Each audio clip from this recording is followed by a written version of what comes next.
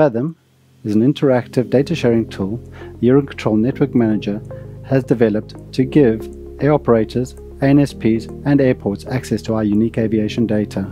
Let's take a look. So Fathom is an interactive dashboard. Uh, we're providing uh, results to operational stakeholders.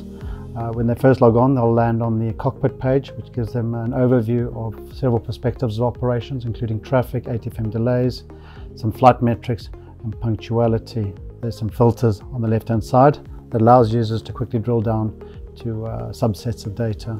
From the cockpit page, we can then analyze different perspectives with their own page. So on the traffic page, we'll have some high-level numbers.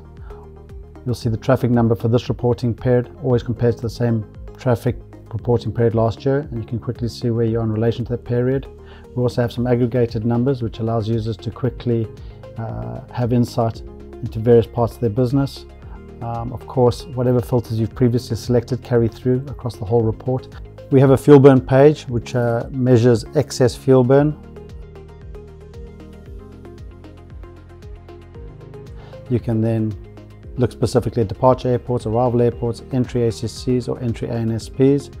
Um, selecting one will obviously filter on that specific data. What we allow for is for users to be able to understand which of their flights potentially have an opportunity to save fuel. Continuing to on-time performance, we can look at punctuality. Again, whatever uh, filters you've selected previously will carry across the whole report. Uh, the last page in the Fathom interactive dashboard is sector configuration. Uh, this shows air operators or airports uh, to see the game plan of any ANSP on a specific day.